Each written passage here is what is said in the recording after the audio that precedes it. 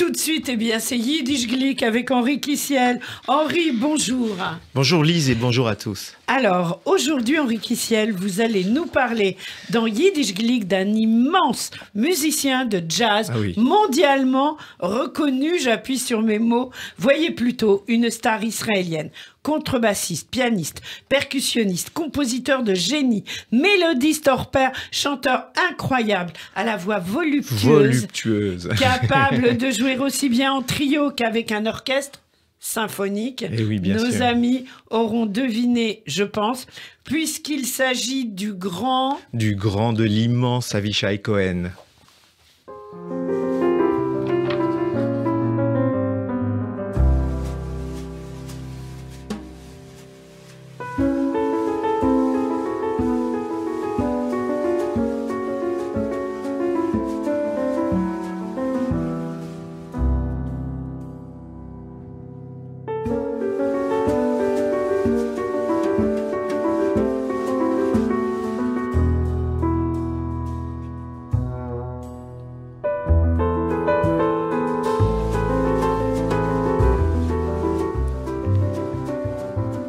Ah, on aurait pu rester encore à l'écouter, c'est magnifique. Oui, bon, on va encore écouter plein d'autres morceaux. Oui, alors j'ai décidé de vous parler surtout aujourd'hui de l'Avishai Cohen israélien. Oui, Il est né le 20 avril 1970.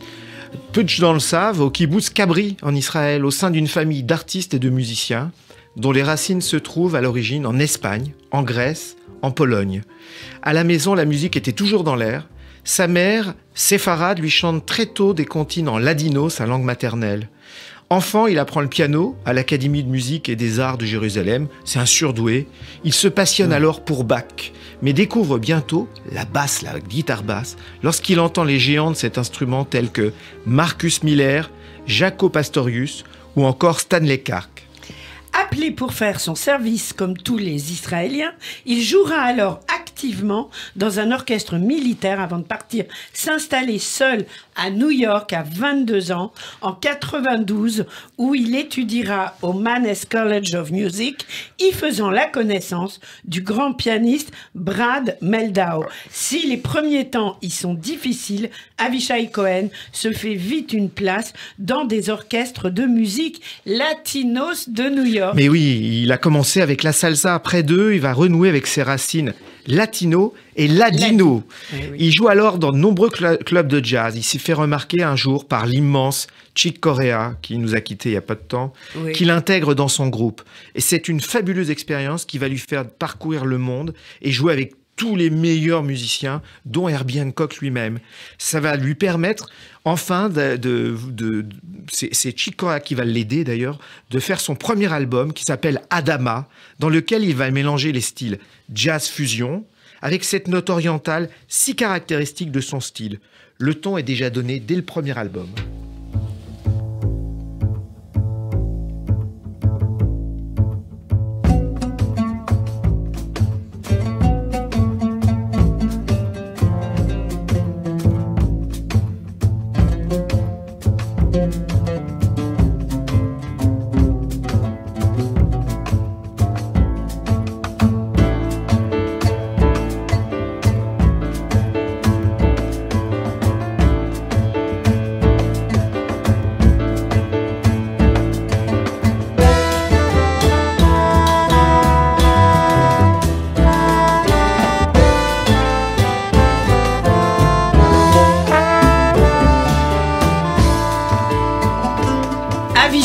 Cohen aime évoquer très tôt son approche originale de mettre la contrebasse au premier plan, quand on sait que notre ami Henri Kissiel est également un formidable contrebassiste, eh bien c'est normal que Henri apprécie comme nous Avishai Cohen.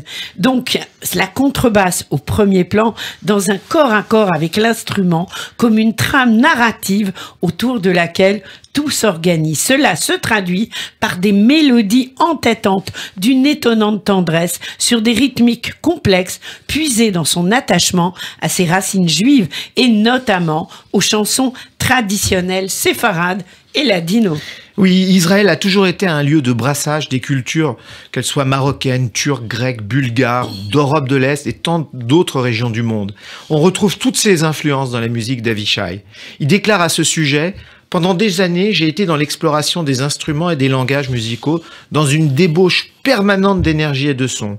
Mais quand j'ai osé commencer à chanter, j'ai compris que le sens de ma musique était en fait simple, pur, authentique.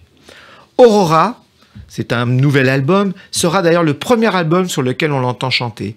Il y chante en hébreu, en anglais, en espagnol, mais aussi en ladino, autrefois parlé par les juifs séfarades. Il y a encore beaucoup de gens qui parlent ladino Oui, qui le parlent, oui.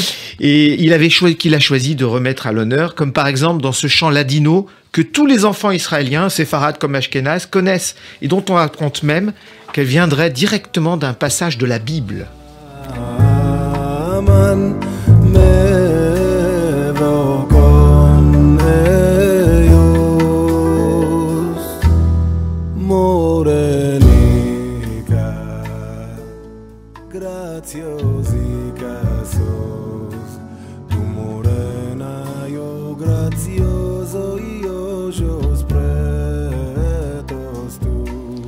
Morenica, bien sûr, vous aurez reconnu à la fois instrumentiste éclectique et prodigieux chanteur Avishai Cohen, qui d'ailleurs adore la France. Ah oui, il adore, c'est un de ses pays préférés, il y est très souvent. Oui. Faudrait qu'on l'ait en studio. Tiens, je sais pas, je prends rendez-vous. Chiche. Affiche, Avishai affiche sans cesse dans son parcours son amour de la mélodie, tout autant que son talent infini pour l'improvisation. Quel talent Ouais, vraiment. Et tous ces subtils mélanges de cultures et de sons ont su toucher un large public au cours des années, bien au-delà du milieu jazz qui avait très tôt adopté cet ovni musical. Oui, oui, celles et ceux qui ont suivi la carrière de David Cohen savent que ses références sont totalement éclectiques. Il navigue avec aisance entre la musique classique, le, le jazz, les chants traditionnels, mais toujours avec ses inspirations orientales ou européennes, latino ou nord-américaines. Il a su donner une nouvelle dimension au jazz en mêlant de magnifiques mélodies inspirées du Moyen-Orient, de l'Espagne, de la Turquie, de la Grèce, de cette culture latino autant que ladino. Il adore jouer de la salsa. Il finit d'ailleurs souvent ses concerts avec, un, avec une salsa enivrante qui s'appelle Shalom Aleichem, où toute la salle danse. Extraordinaire. Et ou encore euh, toute cette culture arabo-andalou, on l'a entendu dans Adama, avec des rythmes enivrants empruntés aux musiques du monde.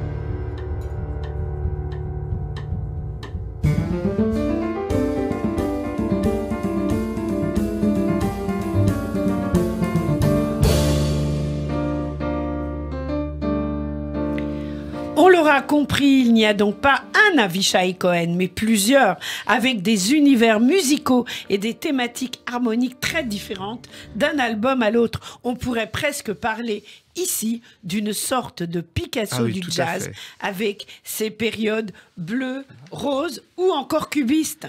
Inlassable explorateur, toujours prêt à faire bouger les lignes, l'Israélien renouera bientôt dans son exploration avec ses premières amours, la musique classique.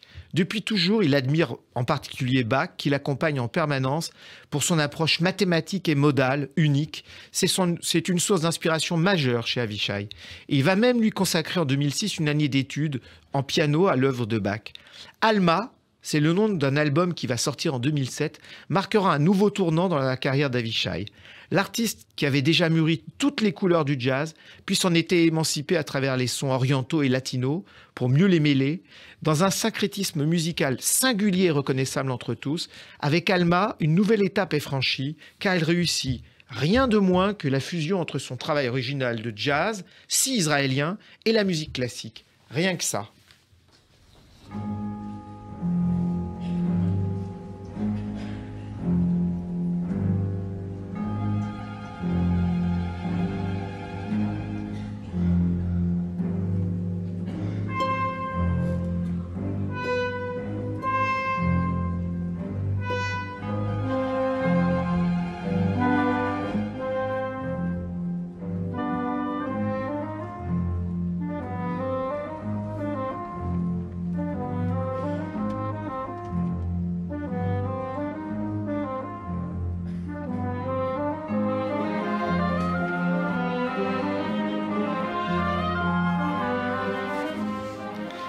Ah oui, c'est la magnifique euh, ouverture du concert qui avait eu lieu à la Philharmonie, qui est une merveille. Il faut, on peut le voir sur YouTube, ne le ratez pas.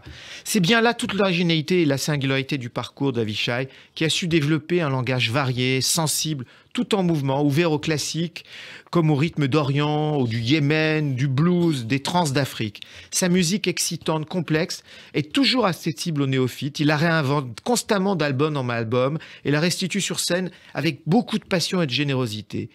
Et c'est un, vraiment un, auteur prolixe qui a rarement laissé passer plus d'une année entre deux albums. À noter aussi qu'il est le directeur artistique du Reed Sea Jazz Festival d'Elat qui, qui se déroule tous les ans au mois d'août. Un must. Et puis il y a aussi cette voix. Elle fait désormais partie intégrante de son univers musical. Pourtant, Avishai Cohen ne se dit pas chanteur au sens classique du terme, lui qui a pris son temps pour oser. Il aura commencé à chanter sur scène à plus de 30 ans, alors qu'il était déjà établi en tant que musicien-compositeur et qu'il avait déjà enregistré plusieurs albums instrumentaux.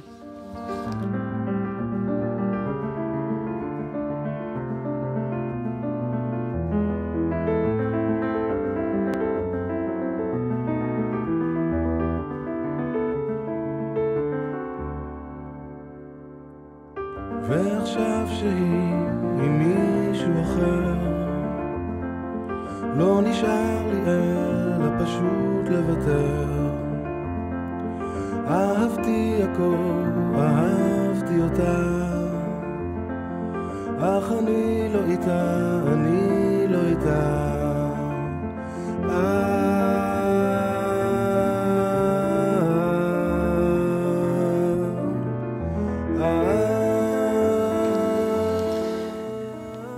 Magnifique Shir Prida de, l'album Aurora qu'il faut écouter. En, 2019, il a enregistré à ce jour son dernier album, le 17e, Arvoles.